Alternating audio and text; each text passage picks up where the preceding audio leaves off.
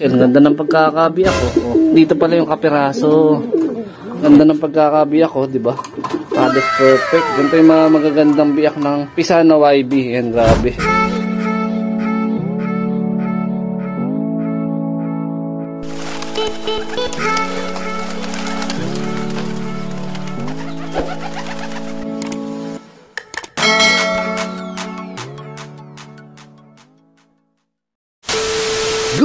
Day mga ka-EA! Welcome back sa ating YouTube channel and for today's video mga kalapatids, ito, mga warrior natin. Hindi ko alam bakit sila nandyan sa baba, baka nagugutom yung iba dyan. So nakita kasi nila kanina nakapwesto ko gawin sa may harap ng pagkainan kaya ayan, nagbabaan yung mga ibon natin. Meron nga pala ako ditong ito double check kasi may napapansin akong parang medyo matamlay eh. Pero sa sipat naman nila ngayon na nandito sila sa baba, okay naman. Siguro baka namalik mata lang ako. Pero subukan pa rin natin i-check up yung mga warrior natin kung kamusta yung mga condition. Kasi importante talaga yung observation sa mga warrior natin. Ta Tama po ba yun? Tapos mga kalapatids, meron akong problema kasi yung flooring dito gawi sa may unahan eh nabubulok na nga agad. Grabe. Wala pang kalahating taon, no? Durog na tong tungtungan natin dito. Wala eh. Dapat talagang plano ko dyan hard duplex eh. Kagaya nito. Ang problema kasi itong hard duplex na to eh kapiraso nga lang to. Tira lang to dun sa flooring na ginawa sa second floor ng bahay ko noong nakaraang Holy Week, no? Ayan, nagugutom na to si Batman, no? Mamaya magpapakain tayo. Palipad din tayo. Tapos, Pwede na! tapos update tayo mga kalapatids. Siyempre, yung anak ni Batusay na akala ko is mga bandang 26 pa mapipisa eh kani-kanina nga lang. Pag check ko eh parang merong shell na nalaglag. So nagtaka pa nga ako mga ka kasi gawi dito nalaglag yung shell. Ayan o oh, check natin. Ayan o oh. aray ko naman. Ayan o oh. kasi dito napadpad eh. Ayan o dito napadpad yung kapirasong shell. Ganda ng pagkakabiyak oh, oh. diba So, ang hindi ko na lang nakita, eh, yung kapiraso or kabiyak nito. Eh, yung compute ko dito, siguro, mga bandang 6, 5 and 6 ata naglabas sila ng ano eh, ng kanilang second class. So, ayan oh, bagong-bagong pisa.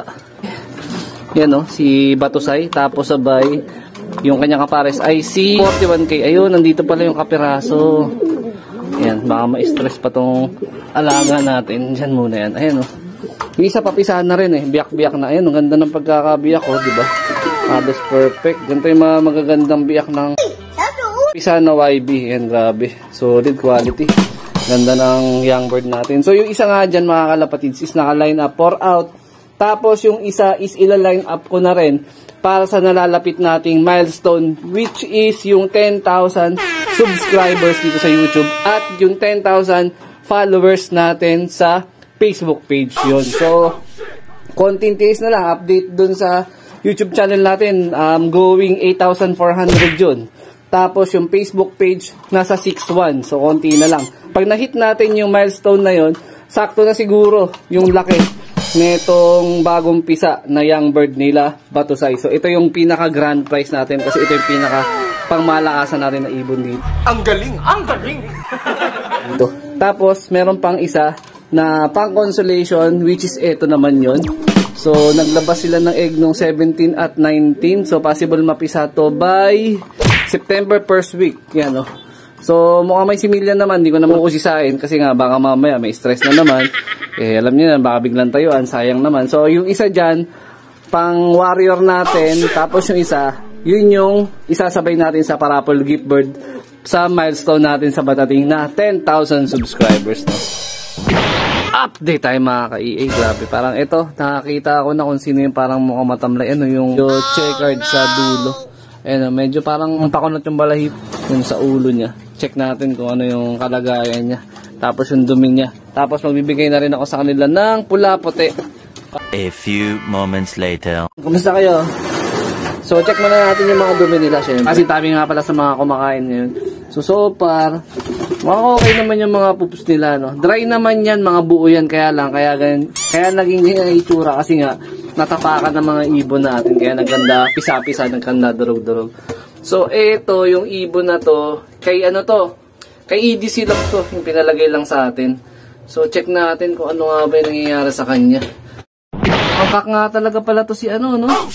Yung imbrick natin, no? Naku, may dalaw na naman tayo. Nandun na naman yung banta mo. Takti ng mga bantam to. Mga kalapatids, oh. Parang pasargo na yung ilong to. Medyo magkaiba sila ng itsura talaga. Ito, si Robin tsaka si Batman. Nasa si Batman? Ito si Batman, oh. oh. Kaya nga, eh, dalaw na naman tayong manok, eh. Wala. Yung bagong pisa natin, kapatid na buo to. Ayan. Ito yung anak ni Batusay na first clutch. Sa pares niya na si 41K. Yung naka bagong pisa nila doon mga kalapatids. Eh, naka-line up natin for out tsaka for raffle para sa ating milestone. So, ito, check na natin.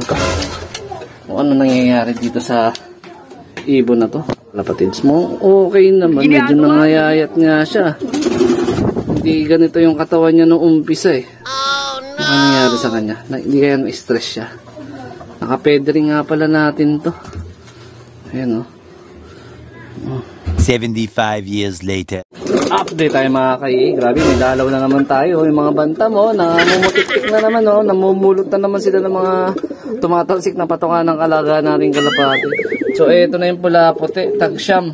Siyam na pula at siyam na puti. Sa kanila, once a week lang naman tayo nagbibigay nito. Minsan yung sumasablay pa ako na once a week conforme sa sa mood ni EA Love TV kung medyo sisipagin. Ngayon kasi eh, first day of school ng anak ko, actually may pasok talaga ako, nag-leave ako para mabantayan yung first day of school ng dalawang estudyante ko. So, so far okay naman. So yun, shoutout nga pala sa mga estudyante dyan na balik eskwela na. Galingan nyo lahat ha. Tama po ba yun? Ito, ito yung imbrick. Di ba? May nagsasabi hen, may nagsasabi ka, ano ba talaga? Kak ba talaga? Or hen? Ako, naguguluhan talaga ako sa'yo. Ano ka ba talaga? Umamit ka na. Ano ka ba? Hindi kita maintindihan eh.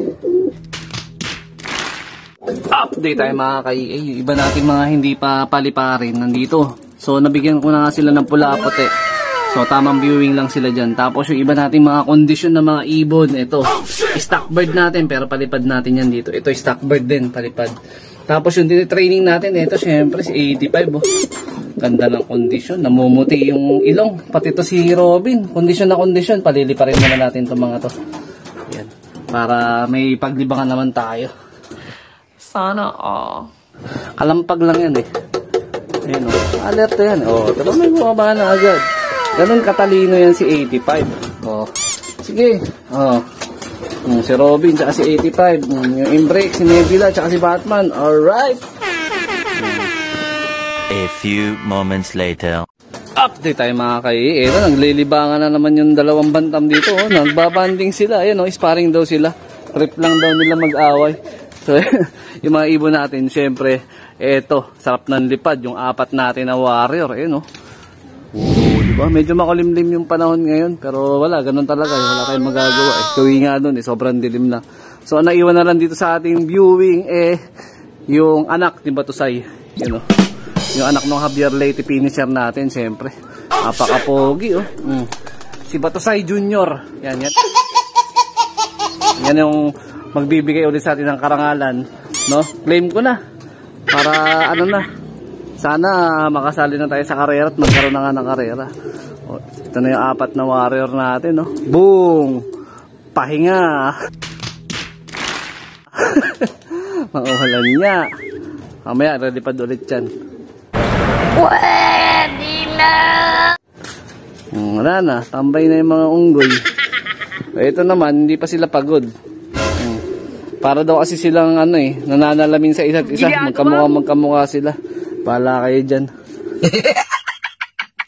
Update tayo mga kaiian. Bigla lang ang bumuhos ang ulan. Hindi pa tayo masyado nagtatagal sa vlog. Eh, bigla na tayong inulan. Kaya yan, hindi na naman tayo makakalabas ng bahay.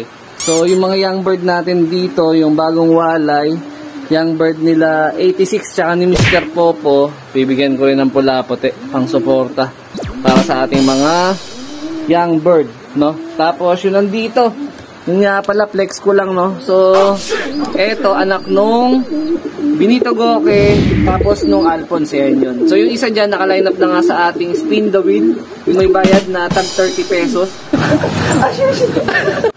So, dun sa mga may number na, sana may pag-cooperate, magbayad na po para mapuno na natin yung slot, no? Para nasa 50 slot pa yung bakante. Yung deadline is hanggang Tuesday ng gabi pala. Tuesday ng gabi. Pagka hindi pa nagbayad yung may mga number, buburahin ko na yung mga pangalan nyo. Kukuha tayo ng mga ibang gustong sumali para makapag-start na intro. Tapos yung isa dyan, pour out. Baka may interesado. So, kapatid sa tatay yan nung ating Javier Leite na finisher na si Batusay. Blueber yung nilabas nila. Ngayong clutch nila na yan. Ayan, napakaganda. Napakalusog. Bibigyan ko ng pula puti yan mamaya para magtuloy-tuloy na yung pagiging malusog nila. Tapos update tayo mga kalapatid sa yan. Labas muna tayo saglit. Ay, yan oh.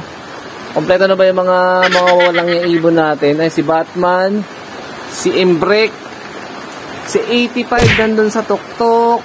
Sino pang wala? Ah, okay. Yung nawawala is si Robin. Nasaan si Robin? Mga naliligo sa labas. So, yun na lang ang hindi pa pumapasok, no?